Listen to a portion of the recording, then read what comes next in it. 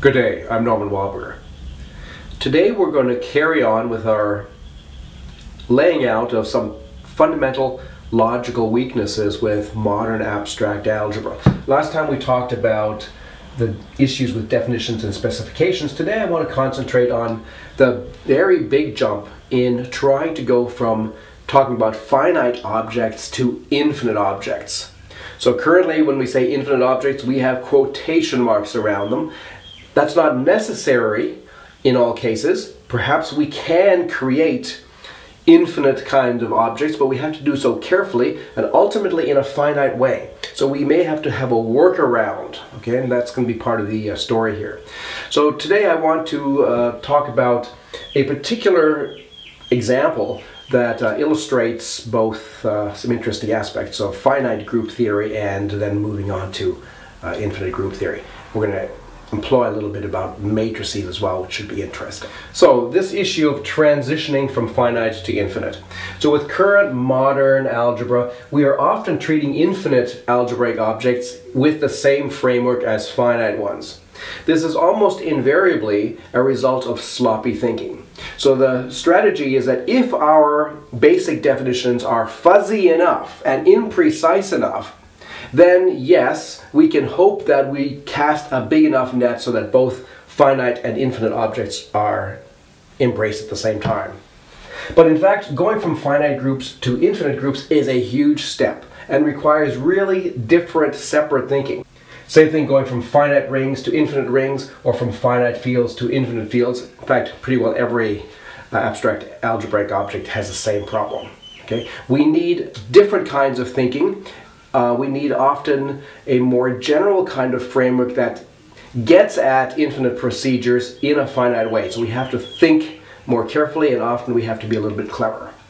So I want to illustrate the issues at hand by looking at group theory and a particular interesting example, uh, that of SL2. So that's the context of 2 by 2 matrices with determinant 1. The SL stands for special linear. So this is the special linear group. Okay, so let me remind you of a few basic facts about 2 by 2 matrices. First of all, the matrix ABCD has determinant AD minus BC. That's a number associated to a 2 by 2 matrix. And here is the familiar product of two matrices. And here is the basic rule about determinants that if you take the determinant of a product of two matrices, so A and B might be these two matrices, and then you take the determinant of this thing, it turns out to be the product of the determinant of A times the determinant of B. So this is the fundamental fact about determinants. In particular, if A and B both have determinant 1, then their product is also going to have determinant 1. That's the basic property that makes this kind of thing into actually a group.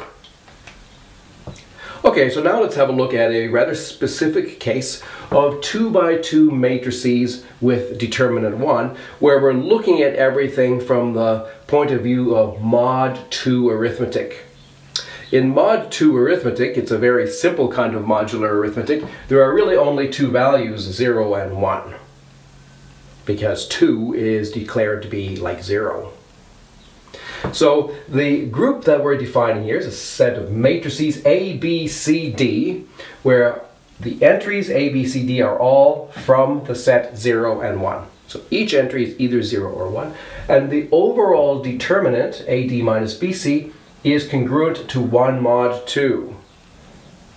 So it could be 1, or it could also be minus 1, because mod 2 minus 1 is the same as 1.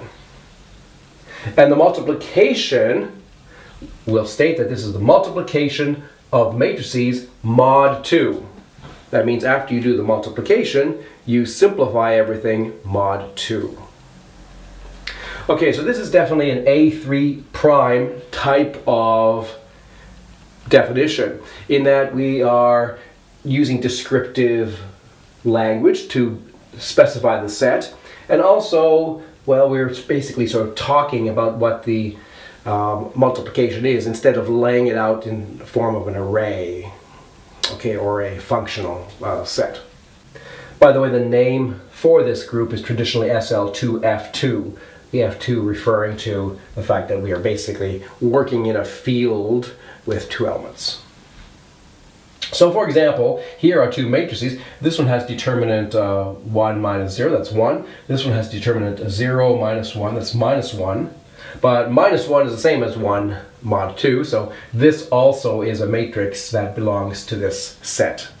And the product is uh, 1, uh, 1, 1 plus 1 is 2, which is the same as 0, and 1 plus 0 is 1. And so that's also an entry of this set. So we're using mod 2 arithmetic when we do the multiplication. So note that this definition, it's one of these A3 prime definitions. It's not very specific about what the set actually explicitly is. And it does leave us to understand what, or to compute what the multiplication is. In other words, it's not telling us directly what the product of these two things is. It's giving us a recipe for us to be able to compute what the product is. So it's a different kind of structure than when you are given the multiplication table directly, just as a table, and you're not required to understand anything more. You just look up stuff. Here we're asked to calculate stuff. All right, so for a computer, uh, this requires some more sophistication because we have to know something about matrix multiplication in order to understand what this group is. So I want you to appreciate that different definitions really do lead to different kinds of group theory. So let's unpack the previous A3 prime kind of definition to a more explicit A2 kind of specification. This is using the language of our previous video. So then what we need to do is we need to determine explicitly, first of all, what actually the elements of this group are. And here I've actually listed the elements of the group. It turns out that there's exactly six matrices made up of zeros and ones that have determinant 1, at least when you're working mod 2. Here they are. There's the identity matrix, and then there's this one, which is a little bit like the identity, but sort of off diagonal. And then these other ones have uh, a single zero in each of the four places, and otherwise ones. And then here is a multiplication table, an explicit array that lists these elements in exactly that order, both horizontally and vertically, and then tells you what the various products are. So the product of this matrix times this one is this one. You can check that uh, hopefully I've done all the multiplications correctly. So if we were thinking about groups in terms of the A2 definition, then we would say, aha, here is the definition of this group G. Here is the set, and here is the multiplication table as given by this uh, 6 by 6 array. It's different. It's a different way of thinking about what a group is. And now here is that same group but viewed from the A1 definition. This was the most computer-oriented definition, where we require that the elements be converted to just numbers, 1, 2, 3, up to k, where k is the number of elements in the group, and that we record just the array, the k by k array of multiplications in the language of 1 to k. So what I've done is I've just replaced the six matrices in the order that I gave you them in the previous slide with the numbers 1 through 6 and I've just converted the table into a corresponding multiplication table now for the numbers 1 through 6.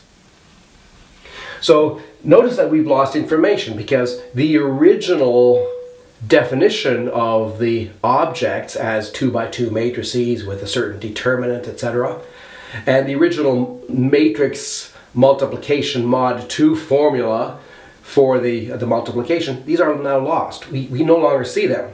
We just see the bare bones algebraic structure of what multiplies to what uh, to get what. So this is a very efficient way of thinking, but it does really look at things from just a pure algebraic point of view. Okay, um, but uh, this is a, a pleasant group with six elements. It's one that we should be familiar with. So as an exercise, show that up to relabeling. This is the same group as S3. It's the same as the symmetric group on three things, which we've seen before. But it's now not in terms of permutations, not in terms of matrices, but just in terms of multiplications of the numbers 1 through 6.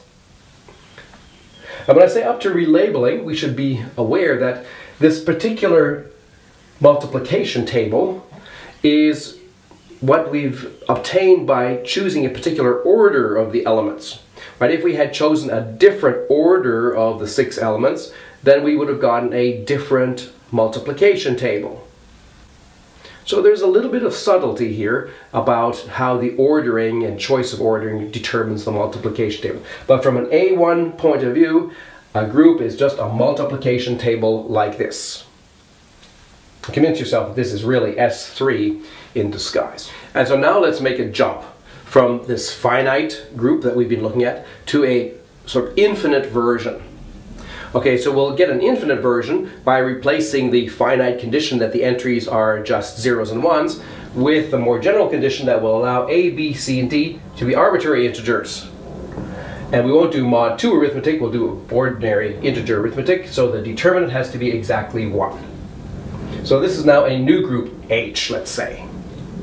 And its name might be SL2 int, because it's special linear group, determinant 1, uh, with integer entries. And we'll specify that the multiplication is just matrix multiplication. So this is very much an A3 prime type of definition.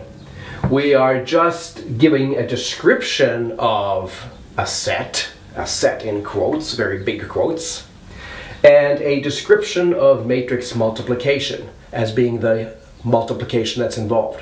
We are definitely not exhibiting the set as a set, as a completed set, which all the elements are there for you. We are definitely not exhibiting the multiplication in terms of an array, where you can see the entire array in your database.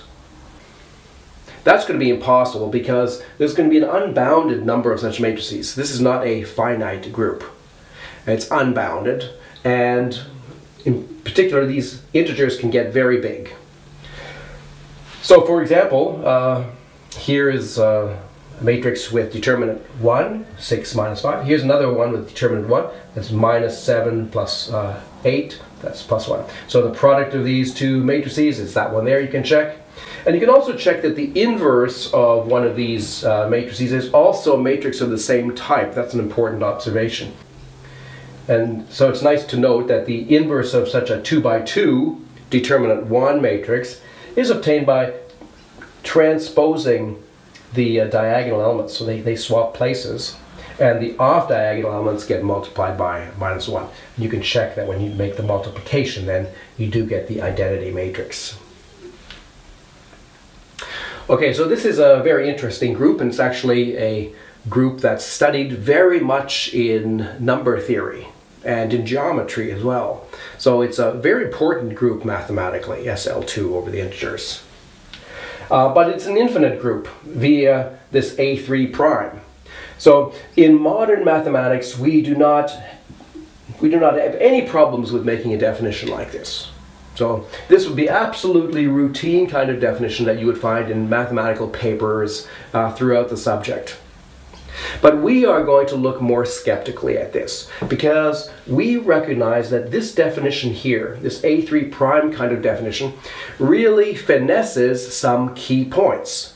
Namely, it doesn't tell us explicitly what all the objects are, and it doesn't tell us explicitly what the multiplication actually is. It's up for us to generate elements and we're only going to be able to do that, obviously, sort of up to a point because there's an unbounded number of these determinant 1, 2 by 2 integral matrices. And it's up to us to sort of work out what the multiplication table is from this sort of basic direction here. So this kind of definition is definitely not in the spirit of A1 and A2. And in fact, from the spirit of A1 and A2, if you had that as your orientation, you would not be able to take this and to transform it into something that was meaningful to you. Right? If you're a computer that has been trained to understand that a group is a an array with you know indexed by 1 to k, 1 to k. It's a k by k array with certain properties you're not going to be able to express this in that language. This is going to be outside your understanding. Similarly with the A2 definition, even if you're allowed to not use the numbers 1 through k, but rather some arbitrary kind of set, you're still not able to list all of the elements. And when we start thinking about things, okay, when we start thinking especially with the point of view of bigger numbers, we start to appreciate that a lot of these matrices inevitably are going to end up involving very big numbers. And then we run into the same kinds of problems that we do when we're considering the set of numbers from 1 to z. I've talked before about this, right? What does it mean to talk about the set of numbers from 1 to z? Because we know that most of those numbers are too big to fit into the known universe. They are completely invisible to us. Well, very similarly, that's going to happen with the entries of this group as well. Most of these matrices that we're going to end up considering are going to have entries which are so big that they don't fit into the universe. So exactly the same kind of problems are going to occur here. That it's no longer clear that we really have control over all such matrices. In reality, we only have control up to a certain point, uh, up to the point that we're able to do arithmetic. But here we're positing that we are going to consider this whole thing even beyond the limits of our arithmetic. Okay? So from a computational point of view, this is fraught with difficulties. But modern mathematics uh, doesn't recognize that, doesn't see that because it's quite happy to allow such sort of sloppy definitions because for one thing, it makes it easier to make this transition from finite to infinite things. Because if you're not going to be concrete about specifying stuff, then it doesn't really matter if you become a little bit more sloppy by introducing an infinite number of things into the story. Infinite number in quotes. So let me phrase what we've been discussing in the following lesson. That if we use the sloppy A3 prime definition or description of a group, and I'm inclined to think of it more as a description rather than a definition, then we can substitute infinite set for finite set with impunity because part of the whole story is that we are not being careful about what the word set means in the first place. But on the other hand, if we adopt a more careful computational approach along the lines of the A1 or A2 definitions, which are geared more towards what a computer can understand, then we must do more work. If we want to go from the finite group definition to an infinite group definition, it's not enough just to replace the word group or finite group with the word infinite group. We must actually understand things from a, a different point of view. So we're going to need separate definitions of group and infinite group. These are not going to be things which are found in the same basket. How to do this is a very good question, and we are going to talk about that. But at this point, I just want to flag that there is a big jump, if you're going to do things properly, between understanding finite, concrete, explicit objects and infinite versions of them. All right. Currently, we only have quotes around all the infinite versions, and to make theories where there's no quotes and things are actually precise, a lot more work is required. In our next video, I want to talk about our third issue uh, that abstract algebra really needs to wrestle with, and that's the fundamental theorem of algebra. All right, so we're going to have to say some uh, uncomfortable truths about the current approach to this important but currently dubious result. I hope you'll join me for that. I'm Norman Wildberger. Thanks for listening.